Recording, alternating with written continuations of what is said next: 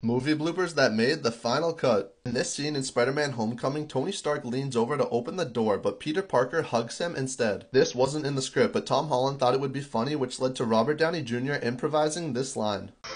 That's not a hug. I'm just grabbing the door for you.